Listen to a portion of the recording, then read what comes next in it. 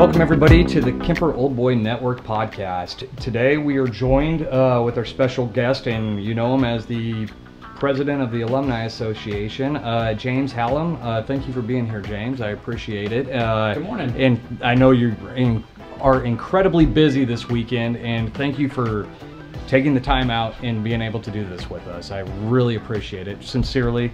Uh, Go ahead, James. Tell me what class you're from and give me kind of a brief description of what years you attended uh, Kemper. And yeah, we'll move on from there. I want to kind of focus this uh, podcast directly on this weekend, so we'll move through that quickly and then get on to everything that you and the Alumni Association have worked so hard for over the last couple years and everything that you guys have been able to accomplish. So go ahead, floor is yours. You bet. Thank you, and glad to be here.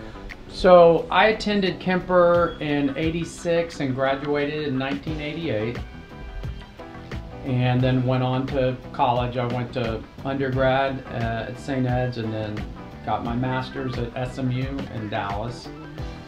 And um, going back to the Alumni Association and the museum in particular, we purchased the building in uh, late 2018, presented the blank canvas in 2019 at the 175th. And at that point in time, it really was a blank canvas. So since then, we created a triage on the third floor and started bringing over paper archives and the larger archives. And then uh, the pandemic hit course, the whole world shut down. So I don't, I, I don't want to jump too far forward. Please. First, let's talk about. Uh, there had to be some stuff done prior to all of this work. There were some structural things that had to be taken care of the building. You had to do some Yes. of that a little bit first. Once you guys pur- purchased the building, you want to talk through that a little bit? Absolutely, and it's funny. They the structural and the fire go hand in hand. So when we took possession of the building, originally there was the standard paint, uh, flooring, uh, just updating doorknobs and making things work and all the things that you would have just to have a business be compliant. So that took from, I guess, that was October of 2019, and the pandemic really settled in in March. Is that fair? Yeah, I uh, think Of that's a 20 fair Is assessment. that 20? Yeah. So, I guess what really I don't know if Boonville per se was in a quarantine, but I know Texas, the cities in Texas, and so for most of the directors, we couldn't travel, so we couldn't get back up there. Then we had the fire, which was a fire that happened two doors down, and actually everyone will see. It's kind of sad, actually. There are just two blank spots um, on the uh, riverside of the museum. Um, but when the fire happened, there was smoke damage, no fire damage in our space, but we had to have the building remediated. Blackmon Mooring was out there for probably two straight weeks. All the archives got moved back into our storage facility, and that happened from about 11 o'clock at night when the fire uh, started till about 3 o'clock in the morning. There was a band of probably eight or nine volunteers that came together to get the archives out and just like the most unbelievable timing. And so from that, to answer your question specifically about upgrades, then we were looked at painting again. Uh, there was some definite damage in the basement. Uh, there was about uh, five feet of water, so the HVAC system was completely submerged. That was a total loss. Um, there was some, um, is that called tuck po- pointing cement work? Yeah. Uh, down there that needed to be done. Um, and so then we start back the rebuilding.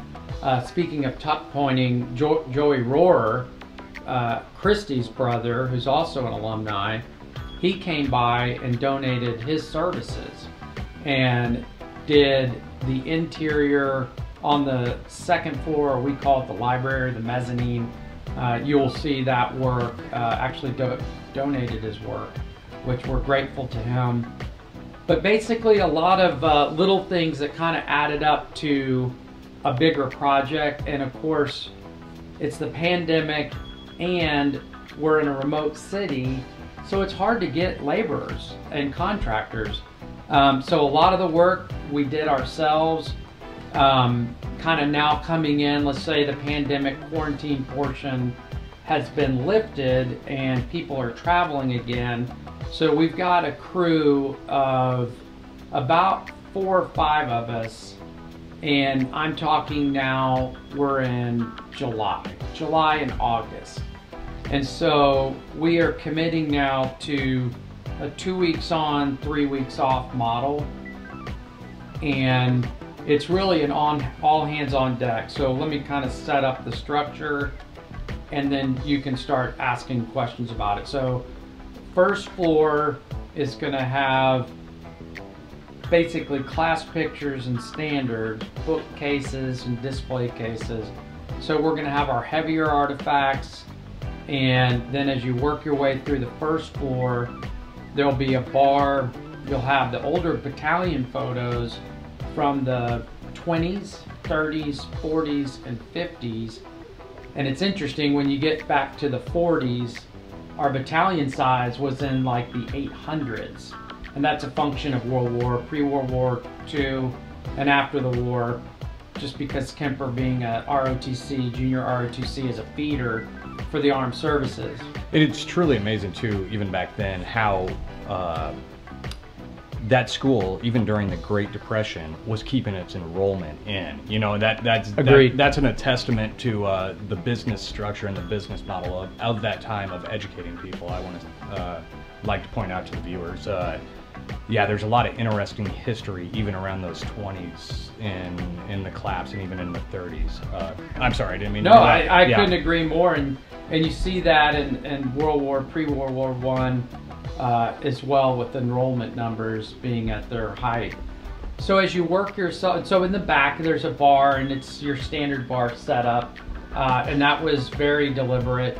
We believe that old boys will want to hang out and talk about their experience and enjoy camaraderie and fellowship. So as you work your way up this, then we out, excuse me, out in the back, there's a, uh, we had a pad poured out there. And so we have barbecue smoking pits out there and cornhole and washers and folding chairs, all kinds of things for hanging out.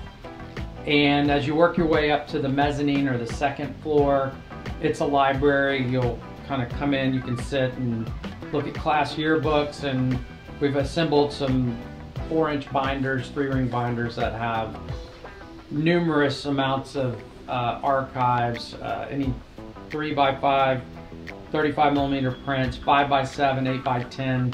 Um, so images, paper documents, and it's really impressive. Uh, the school has so much heritage and so much information that was published, printed, and distributed.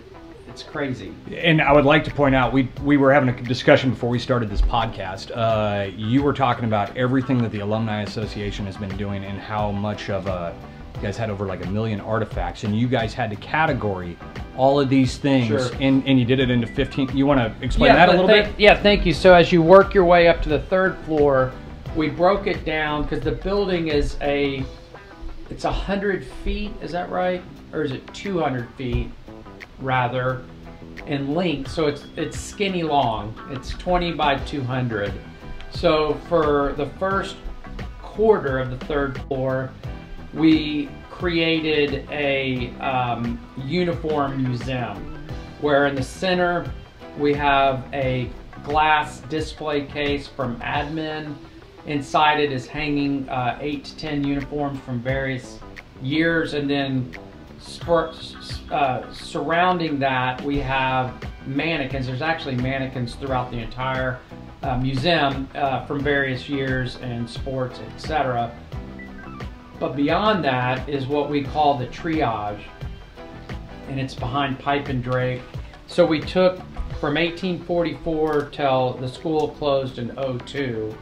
I want to say it was 12 tables in 15 year increments. And so you'll see it, there's pieces of paper that say, you know, 1844, go up 15 years to 2002. And first we just brought over all these boxes and they're just all stacked up and you're very overwhelmed. So first let's categorize by year increment. So that was process one. So then you're looking like, wow, there's a lot of artifacts from like 2002 to like the 70s. Then you, it gets a little thin, then there's some more down in the 40s, of the pile. And then it gets thinner and thinner as you get down to 1844. And then from that, you have to prioritize what's going in a binder, what needs to go behind display glass locked, because the things that are in binders are going to have movement. People are interested, people want to read it. There is a lot of documents that we have duplicates of. The reason why I bring this up is because every old boy has Kemper memorabilia, things that were important to him or her. So it'll be important that for the items that our old boys are tired of looking at, to get those into the museum so we can upgrade existing inventory and get that on display for other old boys to enjoy. But going back to this triage center, it's not just paper documents. I mean, we have steel plaques from buildings, all the like in loving memory of, and pictures and all this stuff as you can imagine. Because when the school was closed and the auction happened, we weren't the only people bidding, the Alumni Association. It was open to the public as well. So you can kind of imagine like a fire drill of sorts of just buying anything and everything. And the things that we have are up on that third floor. I might also mention, in addition to the archives that the association owns and has in stock, we also, I've talked to General Geraci over at MMA a few times, and they have a warehouse of documents and archives as well that we'll go and grab those. And then of course we've been getting some bequeaths from other old boys estates. And uh, MMA, uh, Wentworth also has a small cache. So all these archives will find their home uh, in the Kemper Museum, but it's got to go up three flights of stairs, get white gloved, and then prioritized, and then put in a in a in its kind of representation area. It's also, I, I think, imperative that we express our gratitude to our sister schools uh, for the help with that. Uh, thank you to MMA as well as Wentworth, uh, to the alumni associations for helping us out through this process. I would like to give thanks. Um, Great, yeah, Wentworth and Hittner and Falbo and MMA, great alumni presidents and good stewards of their of their heritages. So let's talk about the man hours behind everything that you guys have done and been able to accomplish in this last two years. Uh, at some points, I'm sure begrudgingly, but yeah, I was gonna say it is what it is. Well, let, let me just say this, uh, and I'm getting emotional just talking about it. The amount of effort let me back up too. So, Christy can probably correct me on this. I think I got pulled in 2016 ish. I got a call from the president at that time, uh, Doug Humphreys, who, by the way, did an incredible job of holding this band of brothers and sisters together. And everybody has strong personalities. Oh my goodness. But then uh, I called Harmon uh, and said like, well, what what is all this? Because I honestly, I mean, I was been in the background, but I hadn't been participating because I didn't even realize really there was any kind of anything being formalized uh, up here, even for Old Boy Weekends. But anyway, long story short, I got pulled in in 2016 and then became president in 2019.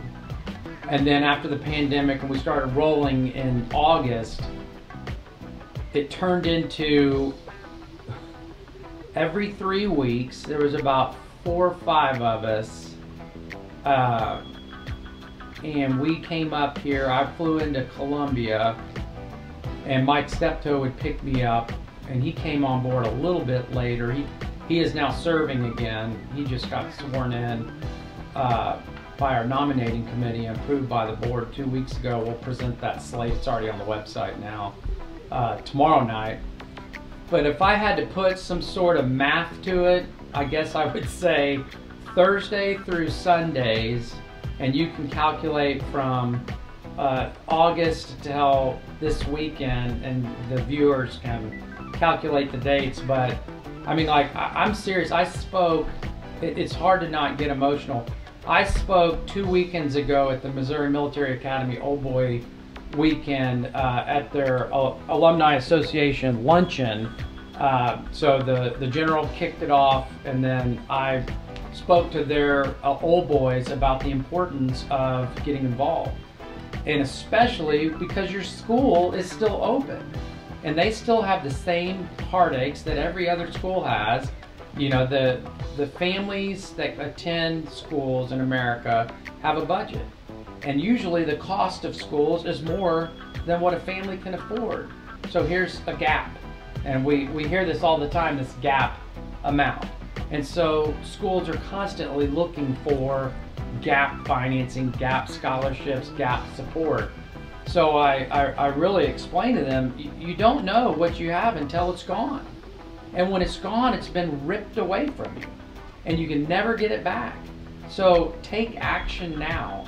Support your alumni association, support your school, and hopefully they don't have to experience what Wentworth and Kemper had to experience. Because in the very end, and I've gone through all of our financials, yes, we had debt, and the debt was more than the expenses that the school was bringing in from tuition, and the structure or the head count was also more robust than it had ever been with a junior college program, with an athletics department that was giving out scholarships. So it's, it's kind of simple math. When you've got more going out than you have coming in, and you don't have gap financing or your endowment built up enough, you have a math problem. So I really spoke about that to them, but it is important because this is all that Kemper and Wentworth has now today. And we won't be around forever, but we're here today. And it's important that all of us get involved. Get involved with Kemper and get involved with MMA and get involved with Wentworth. I can only imagine. Would you estimate ballpark tens of thousands of man hours uh, between or, everybody? Yeah, easily, between every everybody. Easily, yeah, easily. That is, and it's all volunteer. Uh, yep. Yeah, I mean it's it's important yep. to, to put that out. Yeah. Uh, I don't mean to back up too far. So the the building itself was insured and did the insurance cover that fire damage or how did that all work out? We do have an insurance policy. I think our check exactly was fourteen thousand. I was gonna say we don't have to get into numbers. Yeah, but, no. But our so yeah, let's talk numbers just for a second because I don't know if our viewers know this, but our tax return or what's called a 990 is on our website. We publish that between. It just depends on what the CPA gets done between June and you know let's just say August. Okay. But our financials are like day to day, month in, month out those will be available, and they're available for anybody to look at if anybody wants to see those. Those are like QuickBook files. Uh, those will be those are available. Like we'll have printed copies uh, Saturday night at the. It's important that we point this out that it's complete transparency through the Alumni Association oh, yeah. to everybody, and yeah. feel free to ask any questions anytime of yeah. the Alumni Association. They will provide you answers, maybe not may not be immediately because we all have jobs too and other stuff going on. But yeah, they will get back to you. Anyways, go well, ahead. yeah, no, and, and, I appreciate that call. So it's a it's a nonprofit, and all of our information, all of our financials are available uh, at any moment. We don't have. I mean, we'll push them to you via email, etc. But I kind of lost my train of thought what we were talking about. But anyway, that information is out there. Were we talking about man hours? yeah, where were we talking about man hours? And then we switched over into oh, the insurance. Yes, yes, thank you. Yeah. So, so our insurance is basically your standard play. It's a million dollars of liability, and then you have your line items. And I think fire was a hundred thousand dollars, but really what what they paid for was the AC and the remediation for Blackmon Mooring. So they didn't want to pay for pay for paint because just the adjuster. So, but I mean, yeah, we had insurance, but there wasn't a big there wasn't a big payday. So, well, yeah, obviously, Yeah. No insurance company is ever going to give you a big payday. Everybody, Yeah, yeah, yeah. there's insurance is not a get rich quick scheme, that's No, for sure. no, uh, yeah, maybe maybe back in the 70s or 80s you might be able to get away with that. Yeah, but modern day. smart. They- Which leads me into my next thing. Let's plug uh, the 1844 Association. Let's Yeah. plug uh, funding. Uh, Yeah, yeah, please. Yeah, let, let's. Uh, I'll let you go ahead and explain So- that, viewers. So, so we put together in our bylaws, there is a section called membership. And we put together the 1844 Society just because of when the school was formed and its first class. And so for $18.44 a month, you are a member and you get your name on a plaque, your name on the donor wall of the website. You get a t-shirt, and there's different levels. We've mixed it up where you can do infinite, which is $18.44 a month for your lifetime. There's a sustaining member where you can give $1,844, uh, I said cents, uh, for a one-time payment. There's a plaque for that. But on its face, we use the school's formation year as the basis for the 1844 Society membership.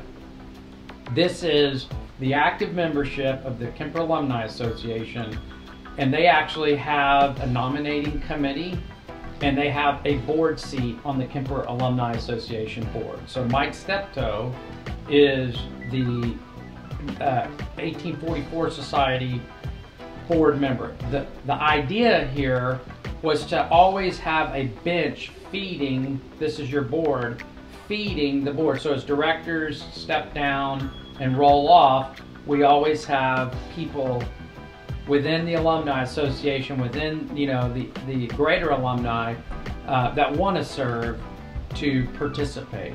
And so that just got kicked off literally in the last year since the new website. And, and I might just plug the website. If you haven't gone out there, we're constantly adding things. We just added the Kemper store. We started with four promotional products. It's I'm sure y'all know this, but people like ask for stuff all. Uh, do you have coffee mugs? Do you have a hoodie?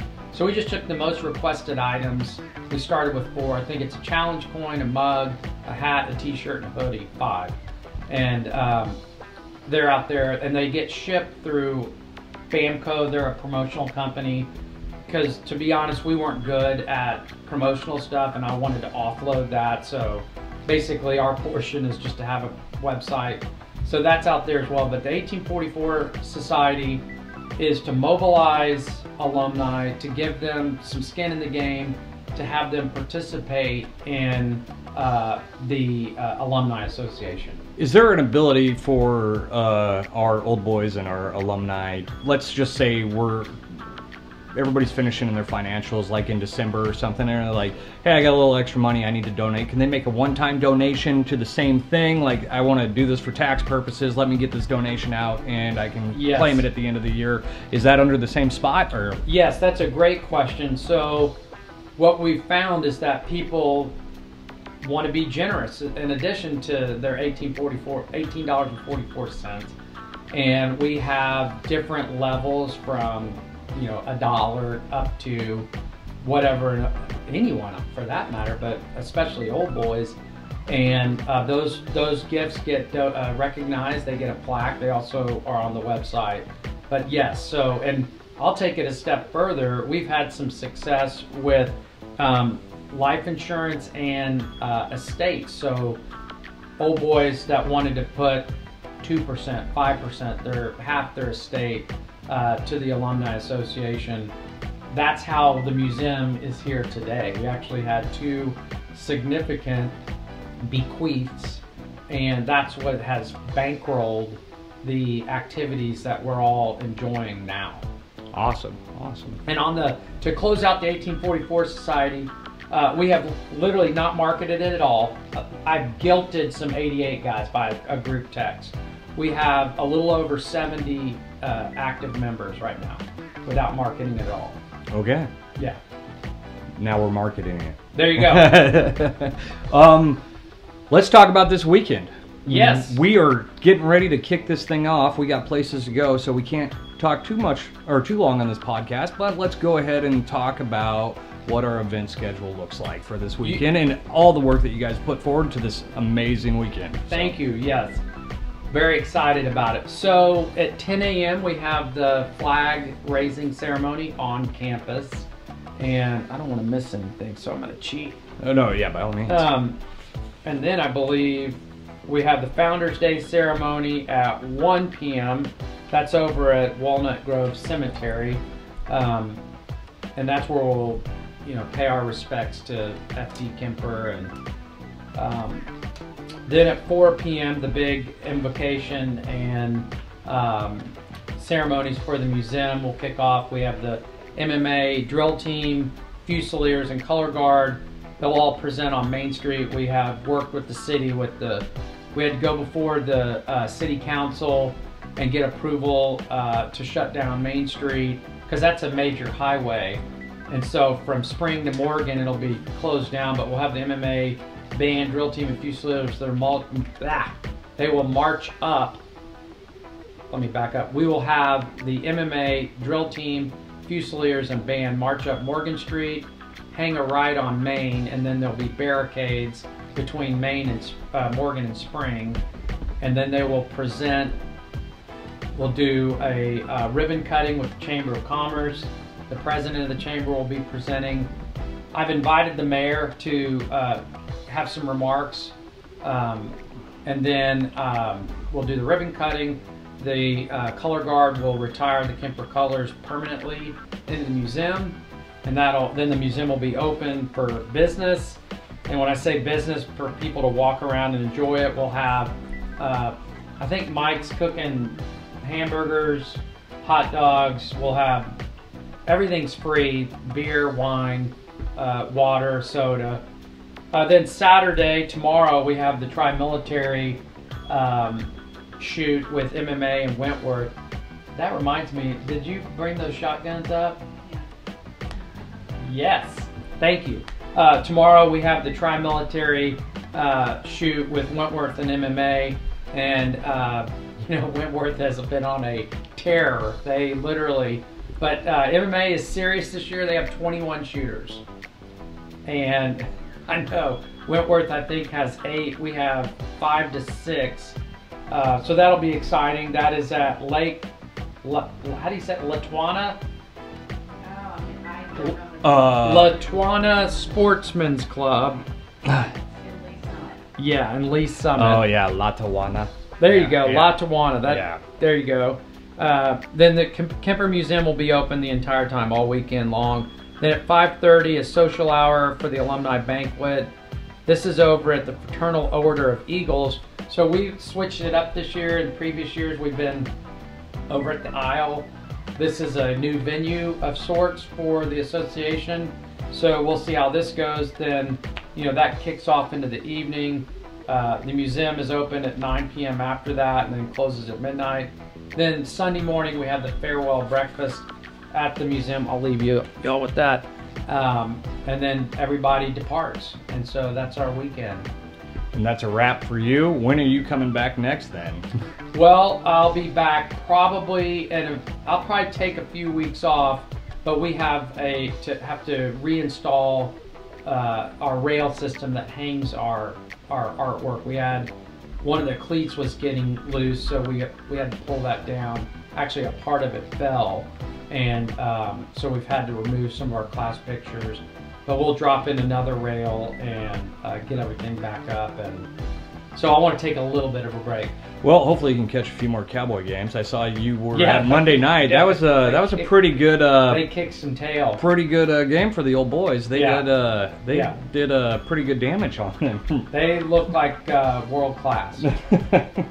so, what what is the future of the alumni association in the short term? Let's talk about some Sure. some goals that now that you guys have achieved so much, and I know Yeah.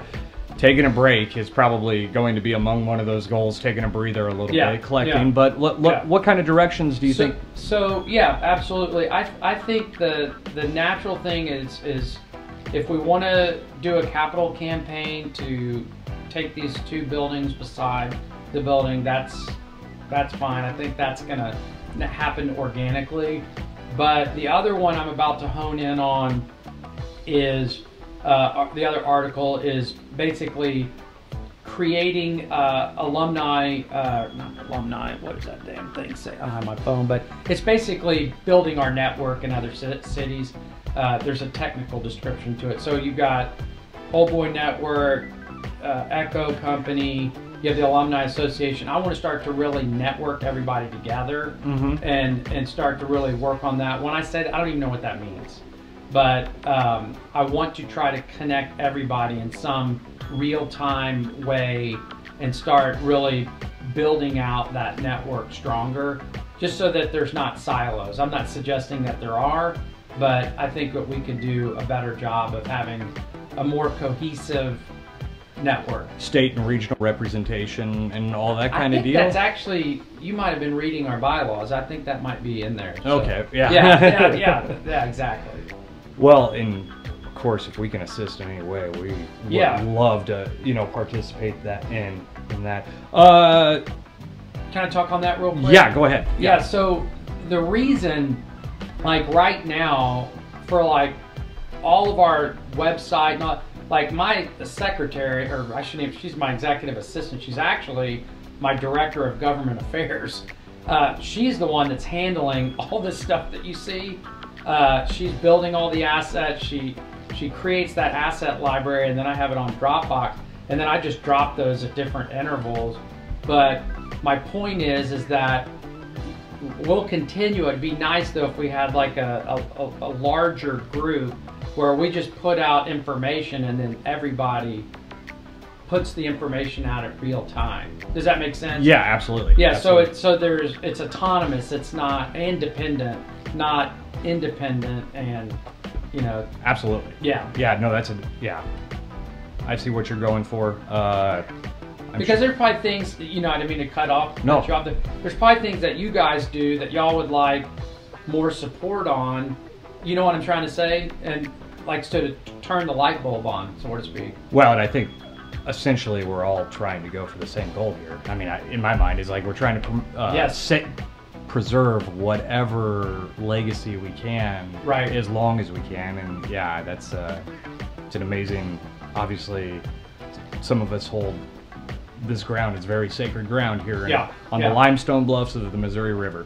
So And I can talk about the the future where where I see it. Yeah, go ahead. So of course I'm party of one right now on my vision, but for the museum itself and the alumni association as it is today, I would say our last old boys, so 2002, 18, they're probably in their 40s, late 30s or 40s right now.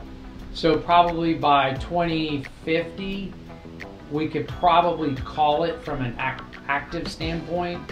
And so I feel like the museum can be bequeathed to either the convention and tourism and that with Boonville and they can because we have a partnership already now. Uh, I went down and negotiated that with Laura. It's it's very simple, very handshake. It's like they do tours three times a week. You bring a tour bus in of people.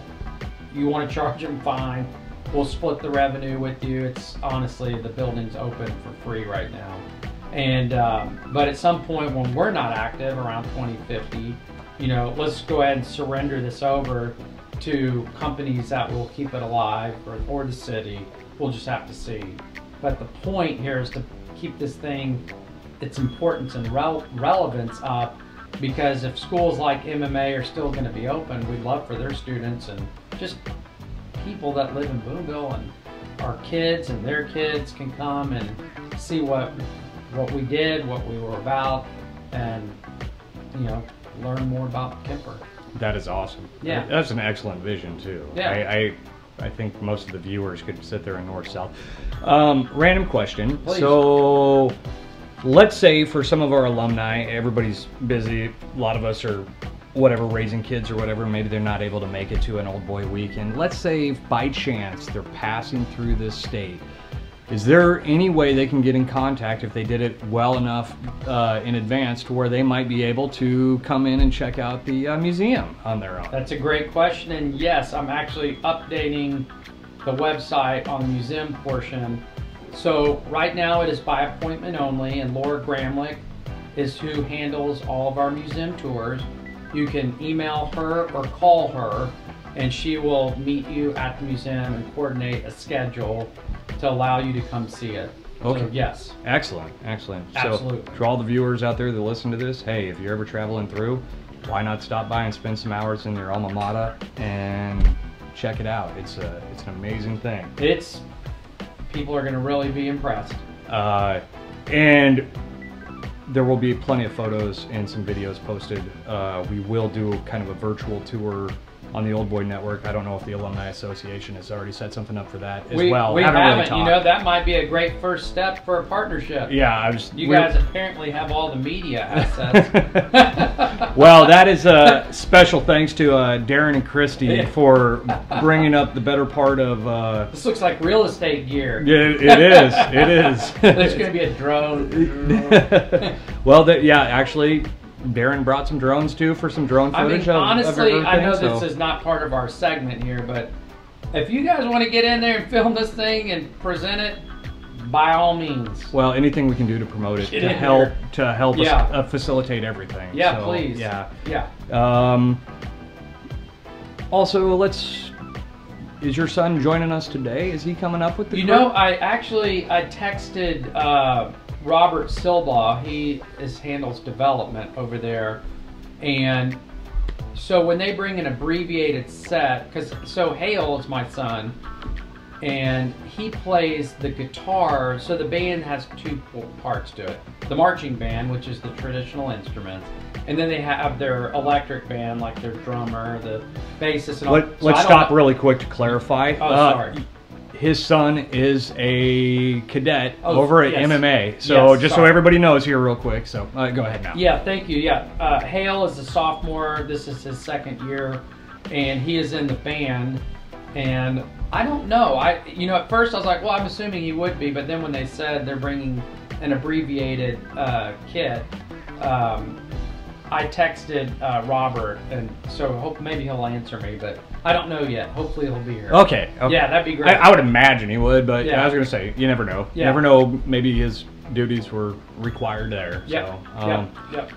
I this is kind of concludes my portion of the interview. I got a couple things to plug, but before I do that, um, balls in your court. What else would you like Yeah. to talk about? Well, one, I just wanted to say thank you for the time and allowing the Alumni Association to participate in your podcast and also allowing the association and me personally to be a member of the Old Boy Network.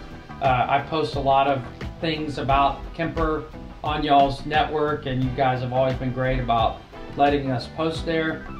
And then if there's anything I can ever do or the association can ever do, uh, we're here and we're open for business. I would just say in closing that really the most important thing for people uh, to consider is joining the 1844 Society. Um, that literally will allow us to continue building out what everyone will get to see uh, in the days to come, really the hours to come. And, I, and we've really, the association has created something very special. I mean, if you go in there and you don't get emotional, then you don't have a heartbeat. We have Kleenex boxes all over.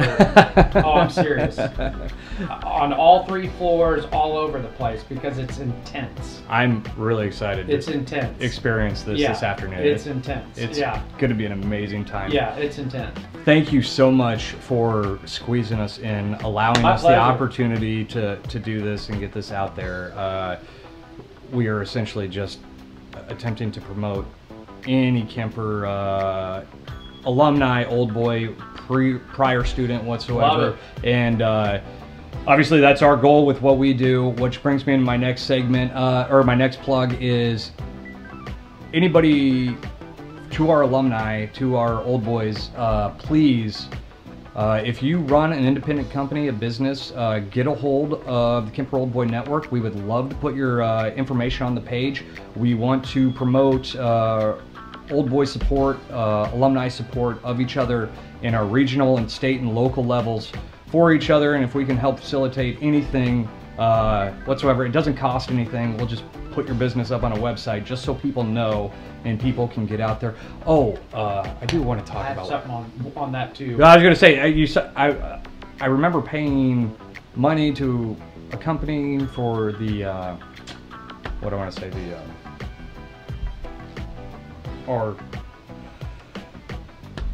uh, my words are not doing well right now. Uh, roster of students. Uh, what do I want to say? Oh, oh, PCI. Yeah, yeah, PCI. directory. Yeah, the directory. There we So go. I'll, yeah. that's an important one. But I, I wanted to say thank y'all for that bu- business feature because I was able to purchase some cheeses and some charcuterie. oh, there you go, Scott uh, Dobbins. Yes, Yeah. a, a kick ass, dude. Yeah. So good. I don't know if I, I just. Yeah. No. No. Yeah. It's fine. Yeah. Okay. Uh, Right, yeah, after you- thank you for doing that. Yeah, I saw that and I ordered mine. I got them in the mail. They were amazing. Yeah, and with that being said, Yeah. uh, Scott is not able to make it this weekend because he's Oh. down there hammering away there. But hey, uh, we're in football season right now. We are in holiday season around the corner. Uh, charcuterie boards go great with everything, whether it be your random football parties or your holiday get-togethers or whatever. Please keep that in mind, as well as every other business. Please look on our page, see how you can support other old boys, other networks. Uh, shout out to Scott Dobbins with uh, Eureka yeah, Charcuterie he, he for sure. in a nice. Uh, it's like a picnic blanket or blanket. It was, yeah, it was a nice gesture. Good deal. Yeah, Look- let me talk about this PCI partnership or the alumni directory because this is actually important because this is about to to ship.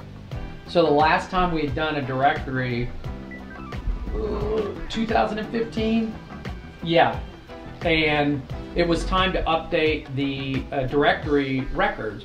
So I reached back out to this company and uh, basically got the assets from the last time, the uh, Excel uh, data file, et cetera, et cetera. So each alumni that was on the list should have received a mailer and uh, request to update your information. And that process has taken a year. Uh, but what's gonna pop out the other side is a really, really special, and I'll show you all after the segment, uh, 175th anniversary alumni directory that starts to ship uh, mid-January. I just approved the final artwork. I'll, I'll show it to you. It's going to be a really neat thing. I'll tell you what we did. We put together a survey of tell us five things that you remember from your Kemper experience. This is really badass. And the top five attributes we listed, we ranked them. Like if leadership was 20, it was leadership first all the way down to the fifth one. Then I went back through the cadet manual and I looked at the cadet prayer, but then I looked, I, I can't remember what section is off the top of my head, but those five attributes, and there's 12 like statements that you're gonna walk away from Kemper with, and those five attributes were listed in those statements multiple times. It was really cool. So we have that uh, listed in the directory as well. But basically, this is going to be an updated directory, so you can reach out to your classmates and network, and you know people's emails, cell phones, whatever uh, folks uh, provided. Uh, if you didn't get a mailer, uh, there was also an opportunity. We listed it uh, on social media to just mail in to the Alumni Association. We got some of those as well. And for the viewers, let's say by the time you're watching this, uh, you you know that you're not on the directory or whatever. Please still get in contact. We would love to add you eventually, or at least have your contact information on file so we can actually use it. And That's a good plug. Go to the Alumni Association Yeah. website, kmsalumni.org, and I think it's keep us updated or contact. There's a place on there where you can put your class year, your pedigree information, and then because the next step is we're going to do mailers, Okay. like email mailers. Excellent. Yeah, Excellent. yeah, yeah, yeah. excellent. So I think we should wrap it up because we got places to go Yeah. and things to do. So Yeah, yeah, thank yeah. you so much again, James, for being here. Uh, thank you for everything that You have got it. done, and uh, You I got it. appreciate it. On behalf of the Kemper Old Boy Network, we will uh, hopefully see you very soon. And nunquam, non paratus. Amen. Amen.